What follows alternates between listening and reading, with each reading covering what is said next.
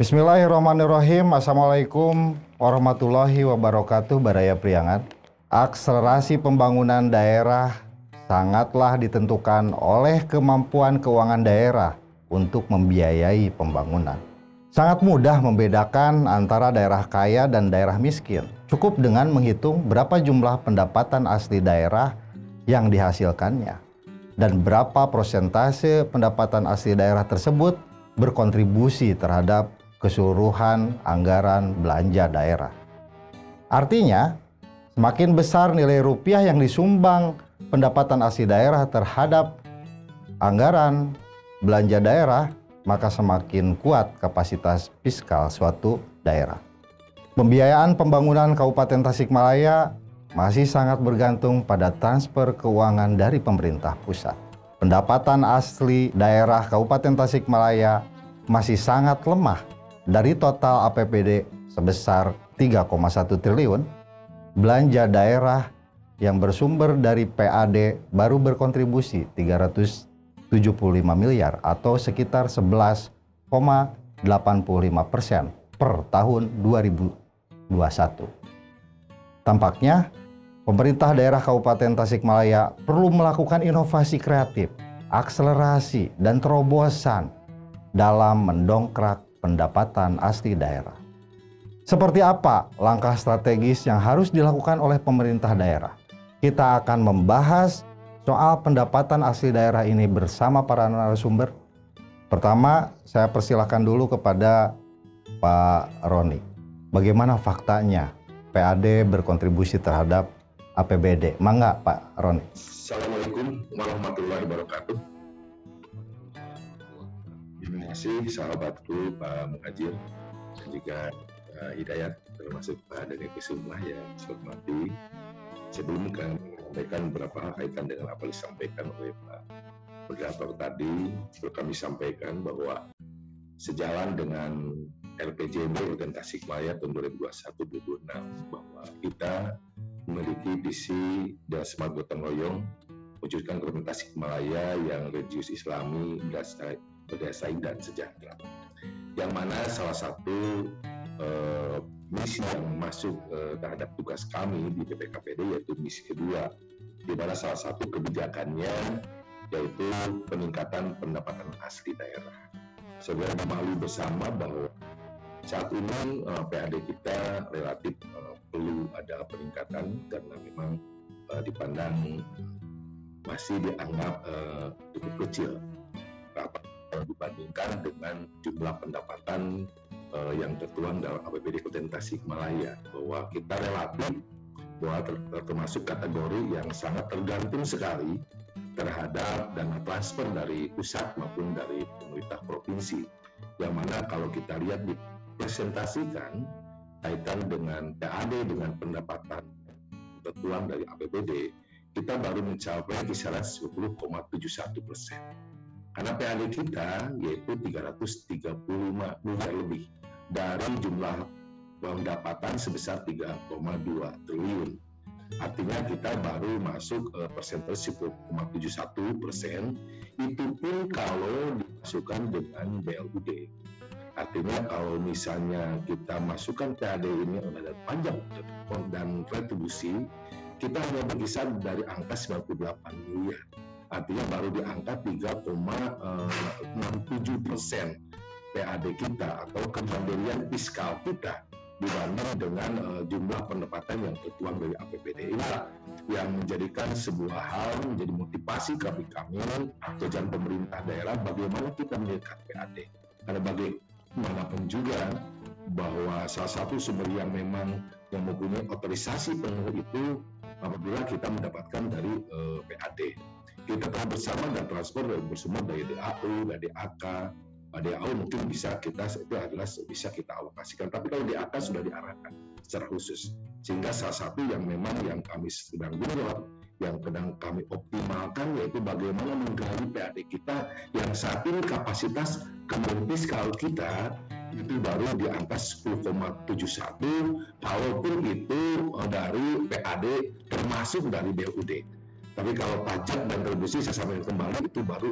di angka 3% lebih. Nah ini sebagai sebuah tantangan bagi kami sebagai SKPD yang memiliki tugas bagaimana menggali PAD supaya nanti ke depan pendapatan kita PAD kita semakin meningkat. Dan itu sebagai uh, tahap awal sampaikan uh, kemudian fiskal kita uh, kondisi saat ini di tahun 2022. Demikian Pak Moderator.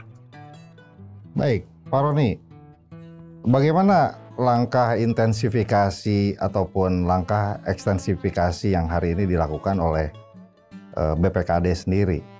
Tentu saja ada banyak peluang ya, uh, ada banyak peluang dari sekedar intensifikasi. Tentu dengan langkah itu ada sebuah prediksi bahwa ada peningkatan yang ditargetkan di setiap tahunnya. Untuk target pertumbuhannya sendiri seperti apa? Terima kasih Pak Muhaji bahwa perlu kami sampaikan uh, tentang perkembangan ya. Perkembangan ataupun pertumbuhan daripada pendapatan lima tahun terakhir ini. Lima terakhir pada tahun 2018 uh, bahwa pertumbuhan kita proporsi PAD terhadap pendapatan kita itu sebesar 6,9 persen yaitu pada tahun 2018 dan alhamdulillah tumbuh pada tahun 2019 menjadi 8,1 persen. Uh, dan pada tahun 2020 juga alhamdulillah ini mungkin amalan penurunan yaitu menjadi 7,4 persen. Tapi tahun 2021 kita juga mengalami penaikan yang cukup signifikan. Sehingga pada tahun 2021 pertumbuhan daripada PAD ini mencapai 10,5 persen. Termasuk tahun 2022 ini ada peningkatan dari yang semula 2021 10,5 persen menjadi 10,7 persen di tahun 2022. Ini uh, harapan kami ya tentunya uh, ini ada sebuah pertumbuhan yang positif dan langkah-langkah yang akan kami lakukan dan sedang kami lakukan. Uh, yang pertama bahwa saya dengan uh, hasil daripada uh, audit dari BPK, salah satu yang perlu kami tingkatkan yaitu tentang kualitas SDM. Kualitas SDM yang dalam hal ini bidang pendapatan. Sehingga uh, saat ini yang sudah kita lakukan yaitu bagaimana meningkatkan kompetensi pengelola pendapatan.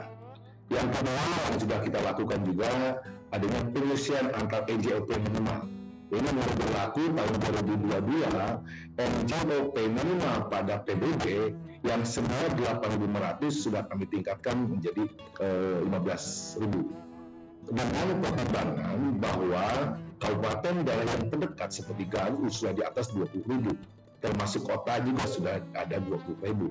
Sehingga pajak minimal kami, saya ini sebuah hal yang rasional apabila ditingkatkan JOP minimal dari 8.500 ke 15.000. Tapi tentunya kita tidak langsung eh, seperti uh, Garut dan Tasik sudah mencapai 20.000, kita lakukan secara bertahap dulu. Untuk tahun 2022 kita naikkan NJOP minimal ini jadi 8.500 menjadi eh, 15.000. Nah selanjutnya juga yang kami lakukan saat ini ya kita bersama bahwa uh, kita juga terus me, apa, menggali potensi-potensi yang ada sebagai sumber PAD Salah satunya kita juga um, apa mencoba meningkatkan kesadaran masyarakat terhadap pajak karena saat ini masih diketemukan wajib pajak yang memang uh, setorannya belum optimal. Makanya kita adakan uh, apa ke lapangan sebagai langkah untuk supaya uh, segera masuk daripada uh, apa pajaknya tersebut. Termasuk salah satunya yang sudah kita yaitu kaitan dengan perusahaan tarif regulasi yang itu juga kita lakukan di samping uh, intensifikasi dan ekstensifikasi kepada pajak. Dan selanjutnya uh, untuk saat ini jangka panjang, karena kita tahu bersama kita memiliki aset 38 titik di kota. Jadi ada kita memiliki aset ada 38 titik di, di yang ada di wilayah administratif kota. Itu pun uh, masih ada, masih banyak aset-aset yang memang belum produktif maka langkah awal kita pertama coba kita inventarisir, kita coba kaji uh, aset mana saja yang ada di kota yang sekiranya kita bisa kerjasamakan dengan pihak ketiga sehingga nanti ini menjadikan tambahan daripada PAD kita. Seperti contohnya salah satunya kita punya tanah uh, bekas setda lama. Ini sebenarnya bisa kita lakukan untuk kerjasama dengan pihak ketiga, termasuk bekas terminal Cilembang, termasuk bekas terminal Pancar apa Indian ini adalah tempat-tempat yang strategis yang nantinya kita akan coba mencarikan sebuah uh, seorang apa investor untuk nanti kita kerjasamakan nih sehingga menjadikan uh, apa tambahan PAD bagi kita. Ini yang sedang kita rumuskan bahkan alhamdulillah eh, saat ini kita telah mengeluarkan eh, eh, pemerintah daerah telah mengeluarkan keputusan bupati tentang tim optimalisasi peningkatan PAD.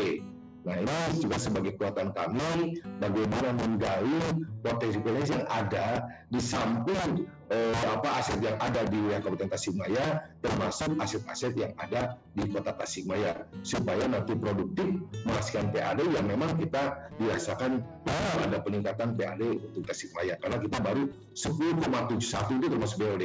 Tapi kalau pajak dan kontribusi kita baru di angka 3 persen lebih. Makanya sebagai tuntutan kami bagaimana meningkatkan PAD dengan optimalkan uh, aset-aset yang ada di wilayah kota. Salah satu seperti itu. Dan yang satu lagi barangkali uh, hal yang kita coba terobos, kita akan kerjasama dengan BPN karena kita apa, uh, ja, apa seperti contoh uh, untuk di kita memiliki 52 km uh, pesisir pantai. Yang saat ini ini sebelum belum terkelola dengan baik.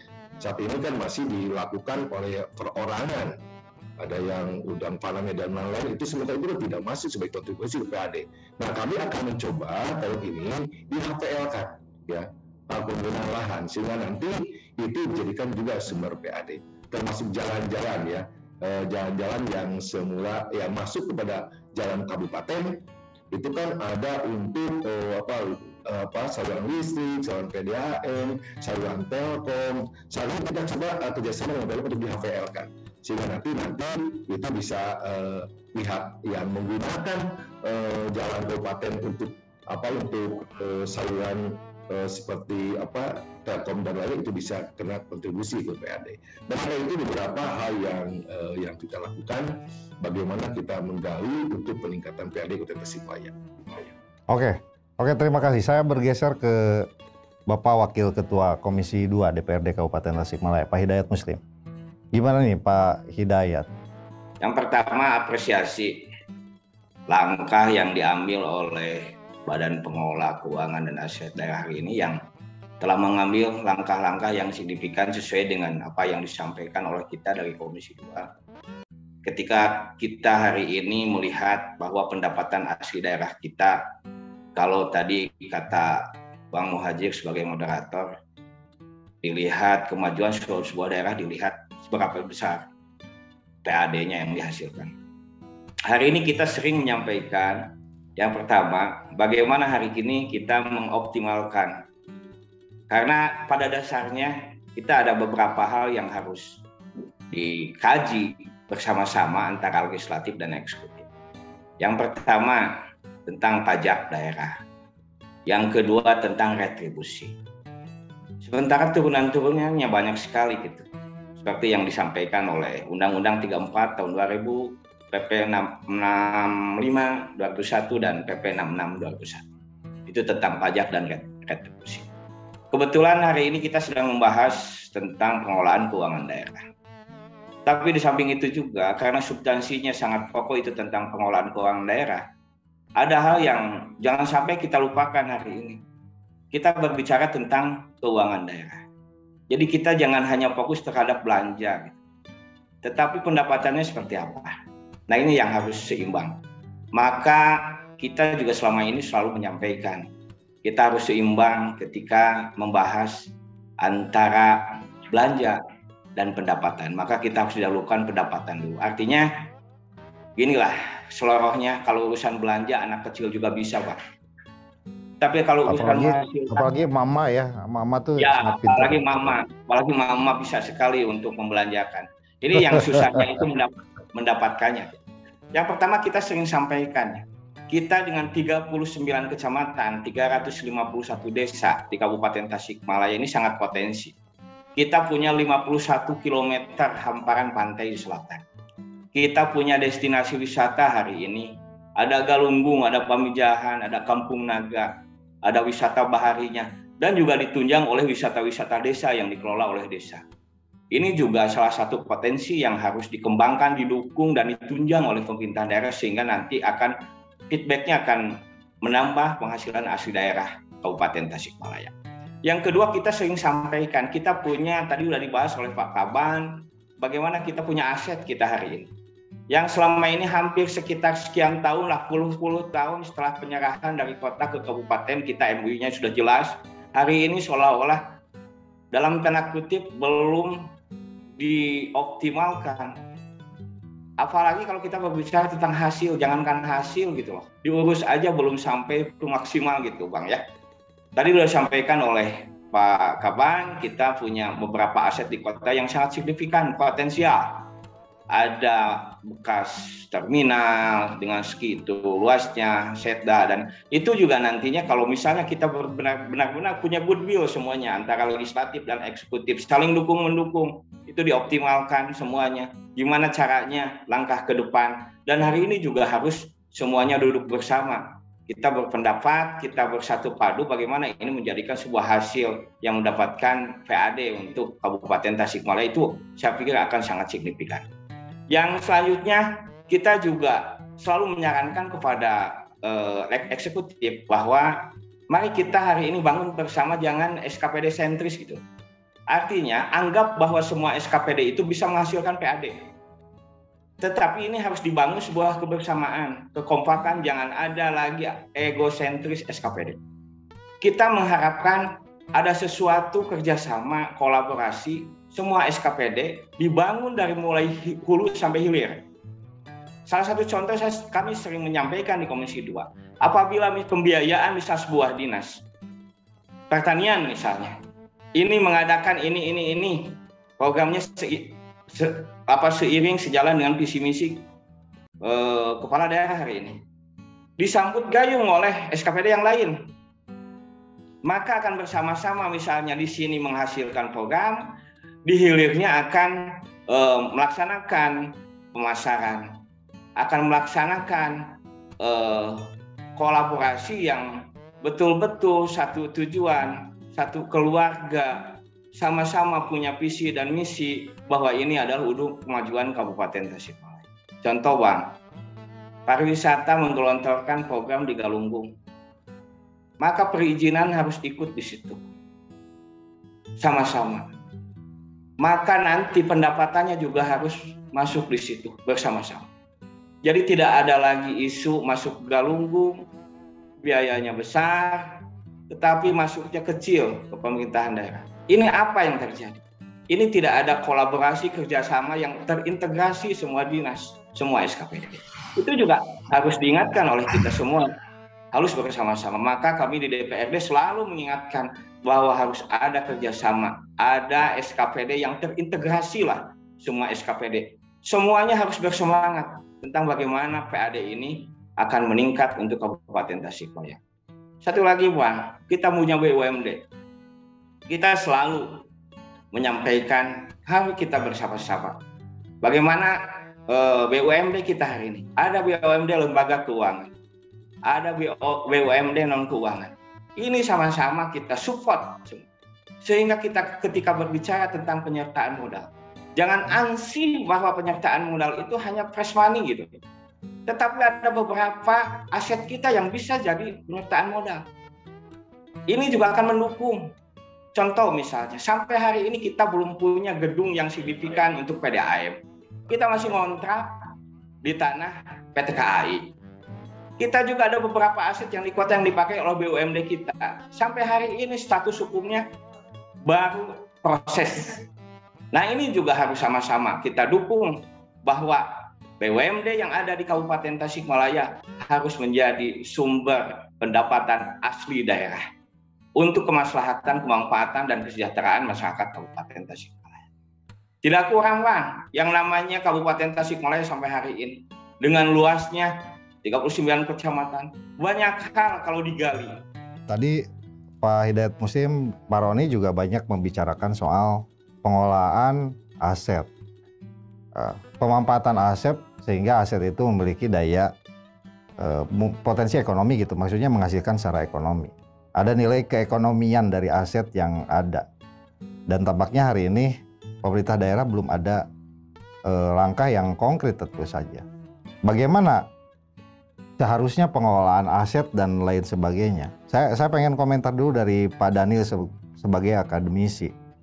Yang pertama, saya tentunya harus mengapresiasi juga langkah dari eksekutif dalam program peningkatan PAD kita. Uh, ada 12 persen yang sekarang, namun memang secara tren itu cenderung meningkat ya Pak Oni ya. 2021 malah signifikan jadi 10 persen.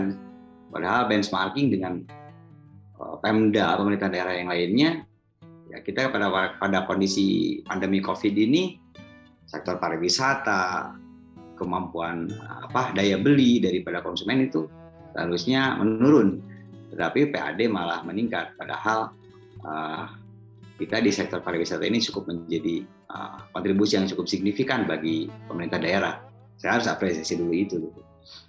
Yang keduanya persoalan intensifikasi dan ekstensifikasi. Apa yang harus dilakukan untuk kemudian uh, mengukur dan membuat PAD lebih meningkat.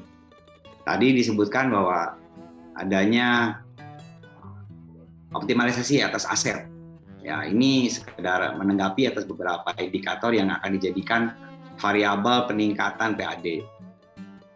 Yang akan menjadi pertanyaan adalah jauh mana langkah yang dilakukan oleh Pemda dalam peningkatan aset daerah. Nah, cuma sudah dinilai belum? Ketika sudah dinilai, seharusnya menjadi ada sebuah rancangan baru yang berisi rencana bisnis yang kemudian akan ditawarkan kepada investor. Akan dijadikan apa? Nah, mengidentifikasi peluangnya, salah satu contoh misalkan di kota ada isu mengenai pembangunan apa pembuatan pedestrian untuk wilayah AZ gitu ya. Mustafa ya? Iya, Hajat Mustafa. Itu pedestrian. Katanya malah sampai Agustus gitu ada di media itu. Uh, Agustus akan diberikan selesai. Nah, kemudian kira-kira tempat parkirnya di mana nih? Yang punya lahan kosong dan mati sekarang kan kabupaten misalkan bekas Bapeda ya atau mungkin sekarang yang ada di paling dekat itu apa yang di Capil gitu ya ada daerah kosong bisa digunakan untuk tempat parkir.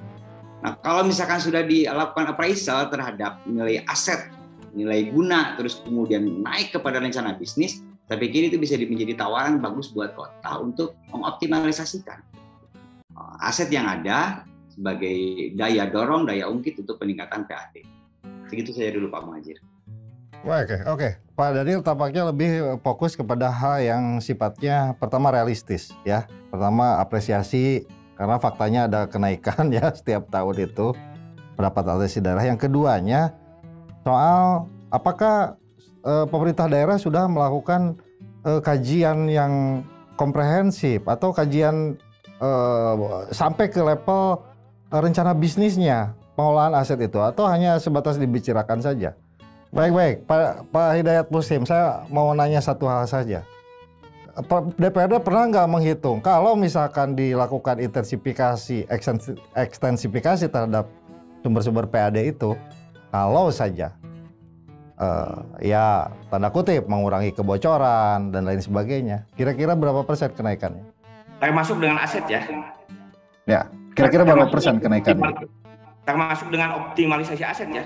Ya, Kira-kira berapa persen peningkatan PAD? 100 persen bisa. Kalau kita berpikir hari ini misalnya PAD kita di 104 miliar, bisa. Kalau semuanya bisa sampai 200 miliar. Bisa, bisa kita bisa nyampe 200. Paling sedikit kita bisa nyampe 180. Itu hanya dengan intensifikasi dan ekstensifikasi, iya. belum inovasi dan kreativitas untuk uh, apa sumber-sumber PAD lain ya.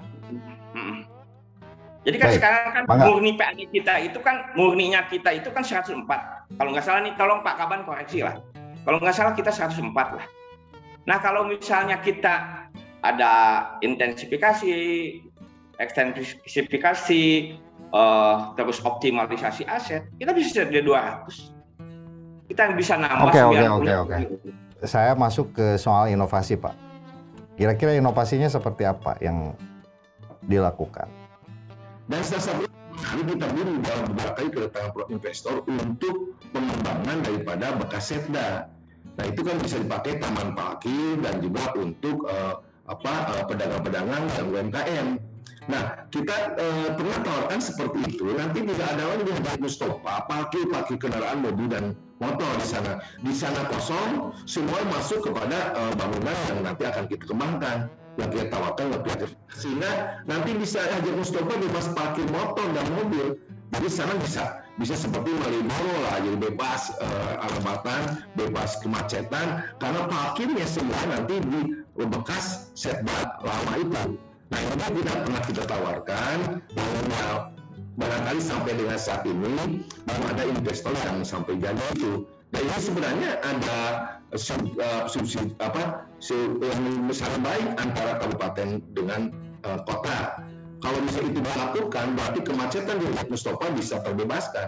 Karena mobil parkir semua masuk kepada gedung parkir dan untuk UMKM di sana. Sehingga para PKL bisa ditampung di sana.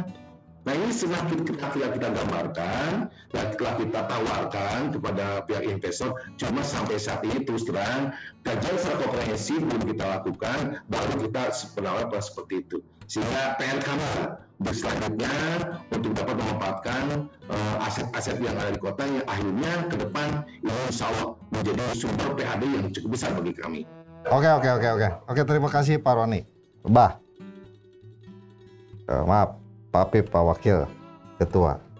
Uh, butuh pemikiran-pemikiran yang apa namanya lebih inovatif ya Pak Kadis ya. Jadi ketimbang hanya mengandalkan pendapatan asli daerah dari retribusi dan pajak daerah. Hmm. Yang artinya itu kan kalau kita dorong ke sisi yang itu ke dari hanya dari pajak daerah dan uh, apa namanya dan um, retribusi. retribusi itu kan uang rakyat kita ya yang diambil. Artinya kalaupun besar dari sumber yang itu kita mungkin akan membebani rakyat kita. Nah, hmm. Hanya saja uh, saya bukan nggak setuju, cuman memang ada ada buk, uh, apa tadi disebutnya in eh, apa intensifikasi ya karena seperti pajak daerah PBB misalkan ya Pak Kadis ya Pak Kadis PBB kita belum benar-benar apa namanya mendapat uh, masyarakat kita juga harus didorong agar benar-benar bahwa uh, nilai objek nilai jual objek pajak yang dimilikinya itu benar eh, benar-benar sesuai dengan harga yang hari ini. NJOP ya? Nah, saya NJOP-nya itu benar-benar uh, karena kebanyakan kita juga mungkin uh, apa namanya uh, punya tanah di daerah masyarakat itu uh, nilai jual objek pajak yang tertera dalam lembar apa itu namanya Pak Kadis SPPT ya Nah, itu itu jauh nilainya dengan nilai jual uh, dengan nilai jual uh, yang sebenarnya. Uh, Kang Hajir boleh cek lah. Mungkin punya saudara atau punya di daerah ada rumah ada rumah ya, gitu di daerah ya semiliar NJOP-nya uh, cuma empat belas ribu NJOP-nya empat belas ribu uh, gitu ya itu kan berpengaruh besar terhadap uh, apa namanya uh, pajak bumi dan bangunan yang distorkan. Ya, itu kan memang harus dikaji kan. Nah, Maksudnya ada nah. nggak pemetaan-pemetaan semacam nah, itu? Nah itu yang se saya sebut mungkin uh, kalau itu saya setuju gitu. Tapi kalau kemudian melahirkan apa namanya sumber-sumber uh, yang yang yang nantinya akan mencekik rakyat gitu yang yang hmm. yang kemudian mencekik rakyat ya itu kan nggak nggak ini apa namanya oh, ya, fair, ya, bagus, ya. bagus juga gitu sebagai pemerintah kita kemudian hanya membebani rakyat dengan uh, dengan tujuan hanya untuk mendapatkan PAD yang lebih besar. Tapi kalau yang itu itu kita kan sama juga dengan mendidik masyarakat rakyat itu agar benar gitu.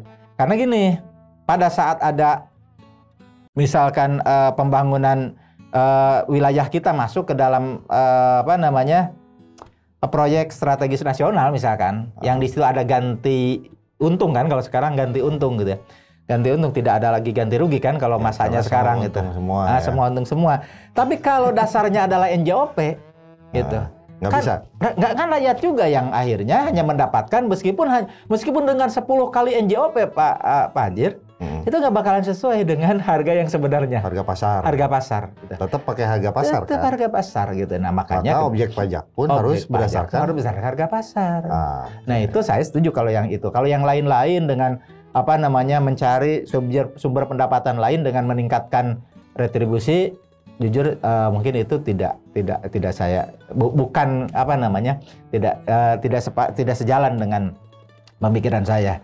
Uh, kalau potensi lain misalkan uh, uh, perumda ya perusahaan umum daerah yang eh, memang harus didorong agar betul-betul menjadi perusahaan yang menguntungkan. Eh, Pak Pak Kadis meskipun saya bukan bukan orang yang bukan orang yang percaya bahwa eh, pemerintah di Indonesia itu bisa berbisnis. Ya, karena Pemeri- eh, pemerintah di dunia bisa berbisnis, bukan di Indonesia, di dunia bisa berbisnis. Amerika aja negara kapitalis, itu sumber-sumber pendapatan dari perusahaannya itu sudah diberikan ke eh, ke ini ke swasta. Ya, VNM misalkan gitu ya. Hmm. Air minum itu sudah di, oleh swasta semuanya. Dan pemerintah kemudian mendapatkan eh, apa bagi hasil dari swasta. Nah, di Indonesia itu masih diurus oleh pemerintah termasuk di kita melahirkan perusahaan eh, umum daerah dengan dengan eh, dengan dalih untuk dengan dalih untuk apa namanya untuk PAD. mendapatkan PAD yang lebih besar kok saya belum begitu percaya ya. Saya lebih percaya bahwa itu diurus semata-mata hanya untuk memastikan, hanya tet- untuk tetap memastikan bahwa pelayanan terhadap masyarakat masih bisa kita kontrol. gini contoh gini saya saya berpikir begini. Ini kan pendapatan. Pendapatan itu kan ya laba lah ya, untung Mhm. gitu Mhm. yang dihasilkan pemerintah untuk dibelanjakan kembali. Ya. Kan ini kan sangat menentukan otonomi daerah, Iya, saya, saya kan gini tadi menyebutkan kemandirian daerah ya, gitu. per- perusahaan daerah. Maksudnya begini, saya, saya potong dulu Nah. Pak. Kalau misalkan pakai prem bisnis, sekarang pendapatan 90 miliar, aku investasikan. Ah. Oke, BEP 9, tahun atau lima tahun ini balik kembali. Kira-kira bisnis apa kan gitu? Ya. Nggak mau rugi kan kalau Mm-mm, bisnis. mm-mm, Tapi kalau nggak pakai prem bisnis, jadinya begitu. Ya, makanya tadi saya, saya menyebutkan seperti itu. Kok saya nggak begitu percaya kok kalau misalkan eh, urusan dengan karena kaca bis- kacamata bisnis kita mau mencari pendapatan lebih gitu, menyerahkan itu kepada pemerintah gitu ya, Hmm. Ah, kepada pemerintah. Kenapa? Gitu. Eh, tren trennya sudah sudah didahului kok. Negara yang eh, negara-negara lain itu sudah memberikan itu ke sektor swasta. Kemudian pemerintah mendapat kasih hasilnya. Betul. Nah, kalau diurus oleh pemerintah, ya, ya dalam tanda kutip apa namanya plat merah gitu ya, Hmm. perusahaan plat merah. Saya pikir kok biaya operasionalnya akan lebih besar terus itu ketimbang keuntungan yang Iya, kita harapkan. Terus aja investasi gitu ya Ah, belanja. ah, ah, belanja. kayak wisata gitu. Kita bangun sekian miliar gitu ya. Pendapatannya besok naiknya hanya 5 juta satu tahun. Itu berapa tahun PP? Break even point-nya berapa tahun? Kita bangun misalkan kawasan wisata Galunggung. Tahun ini kita eh, kita eh, Invest. 10 miliar, invest Oke. 10 miliar. Besok dilihat itu pendapatannya naiknya itu cuma 5 juta atau 10 juta. Berapa tahun mau mau mau break even point dari eh, investasi yang kita ini kan. Oke, ini kan soal regulasi tentunya. DPRD berpikir nggak kalau untuk urusan pengolahan aset, pengolahan wisata, pengolahan sorry bisnis yang terkait dengan pendapatan daerah ini lebih kepada sisi regulasinya gitu, memberikan ruang yang eh, konkret kepada pengusaha, jaminannya, jaminan investasinya, jaminan kelancaran usahanya dan sebagainya. sepanjang untuk kemajuan dan untuk kepentingan masyarakat, untuk apa tadi tujuan-tujuan positif, saya pikir DPRD harus jalan dong meskipun ada 50 kepala di DPRD Hmm. yang pikirannya berbeda-beda gitu ya kan tidak satu orang dibandingkan dengan satu orang eh, satu pemer- satu pemerintah daerah yang dipimpin oleh satu kepala eh, daerah satu isi ke- isi kepala kepala daerah gitu ya Hmm. mungkin lebih simpel gitu ya ketimbang eh, 50 Anggota dewan. anggota DPRD yang kepalanya berbeda-beda Pak Kadis ya. Juga dengan dengan pikiran yang berbeda-beda begitu ya. Saya menyoroti dua hal saja, Pak Roni ya. Berapa nilai investasi yang dikeluarkan lima tahun terakhir untuk eh, wisata Galunggung dan Karangtaulan? Silakan hitung. Saya pikir puluhan miliar itu. Gitu. Tapi karena pengelolaannya, Hmm, gitu ya. Dari sisi pengelolaan bisnis Ya. dalam kutik untuk pendapatan daerah yang pada akhirnya nanti balik lagi ke dalam uh, pertumbuhan ekonomi dan sebagainya. Nah, ini kan tidak sesuai apa yang terjadi hari ini. Tidak sesuai. Pendapatan PAD-nya ya tetap saja ya. Uh, kemarin investasi 5 miliar, Hmm, hmm, naik PAD-nya 1 juta. Ya, kalau, kalau saya nggak menyebut itu angkanya Ini- ini mungkin, mungkin- di Pak Kadis. Ini mungkin ini berbagi berbagi prime substansi ya dalam pengelolaan keuangan daerah. Pak Roni sendiri pernah melakukan kajian nggak secara luas atau minimal mana objek ya objek eh, PAD yang potensial dilakukan kajian bisnisnya seperti apa untuk menikah? Ada nggak? Ya, terima kasih. Saya sampaikan tadi bahwa salah satu yang sedang kita lakukan mulai hari ini yaitu melakukan kajian terhadap potensi-potensi PAD. Ya, artinya salah satu yang tadi disampaikan oleh Pak Wakil Ketua kaitan dengan eh, pemanfaatan eh, yang saat ini di, apa, digunakan tambak udang yang di mana kita memiliki 52 km pesisir pantai. Saat ini kita tidak bisa berbuat apa-apa karena kita tidak punya uh, apa apa uh, sebagai kaidah hukum kewenangannya. Makanya saat ini kita sudah bekerja sama seperti tadi, tadi dengan uh, BPN. Nanti itu akan mapl kan. Uh, itu maaf maaf maaf maaf Pak Roni saya saya saya, saya ini yang yang melakukan ta bisnis tambak udang sekarang itu kan pihak swasta swasta dan perorangan Oke, kalau pemerintah aja tidak punya kewenangan, apalagi mereka? Ya, begini. Itu tidak ada kontribusi. Benar nggak?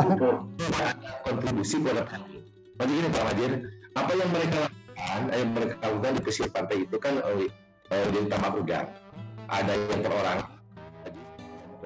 Nah sampai saat ini kami tidak memiliki kewenangan untuk mengambil kontribusi daripada hasil daripada tambak udang tersebut. Nah saat ini salah satu terobosan dilakukan kita udah kerjasama dengan uh, pertanahan. Nanti yang di 52 ini ada tempat-tempat strategis yang di HPL-kan, sertifikat HPL-nya adalah pemerintah daerah. Kita usaha buat mereka. Nah, kalau sudah begitu, kita punya kewenangan untuk supaya ada kontribusi dari mereka karena HPL dan mereka punya HGU, HPL-nya HPL kita gitu. Makanya sebuah terobosan yang tahun ini baru dilakukan antara pemerintah daerah dengan BPN itu sudah langkah inovasi. Nanti siapa pun yang nanti yang memang eh, apa berusaha di pesisir pantai tersebut untuk udang dan apa pun, kan HPL-nya HPL pemerintah daerah dan mereka HGU-nya, otomatis kita akan mendapatkan kontribusi sebagai bahan PAD. Jadi memang kalau pemerintah tuh cukup panjang ya, beda dengan perorangan atau swasta serobot? Sang bisnis saja di sana gitu. Nah gitu. ini unik di negara kita ini memang. Dan ini bukan hanya persoalan eh, galunggung, bukan hanya banyak saya pikir persoalan yang sangat terikat dengan hak eh, lahan ini. Jadi tampaknya karena memang agraris dan pegunungan, jadi sangat terikat sekali dengan soal agraria ini. Jadi peluangnya itu ada di ada di di apa namanya di pertanian sama di uh, wisata gitu ya. Potensi ya. lain yang bisa kita dorong itu dan itu sangat terikat dengan pengol ke lahan. Ah, dan itu konsesi lahannya, lahan. penguasaan lahannya, penguasaan nah. lahan di atas itu uh, ada BUMN yang mengurus okay. itu.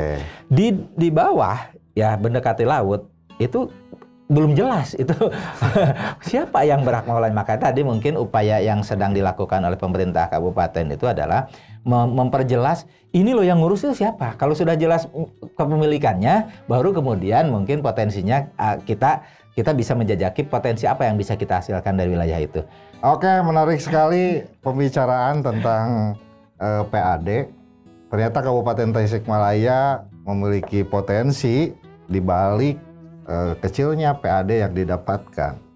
Hanya saja ternyata kembali lagi persoalannya sama halnya dengan pengolahan wisata, pengolahan-pengolahan yang lainnya ini terikat dengan satu persoalan yaitu persoalan penguasaan atas hak pengolahan lahan yang hari ini masih banyak ketidakjelasan. Perlu langkah-langkah konkret yang mesti didorong secara politik tentunya selain kerja teknis yang dilakukan oleh eksekutif dalam konteks ini badan eh, berbagai badan dan lembaga dinas yang ada di Kabupaten Tasikmalaya dan perlu masukan dari akademisi juga. Kita akan membicarakan kembali hal yang lebih menarik terkait dengan berbagai macam isu yang menarik. Terima kasih. Assalamualaikum warahmatullahi wabarakatuh.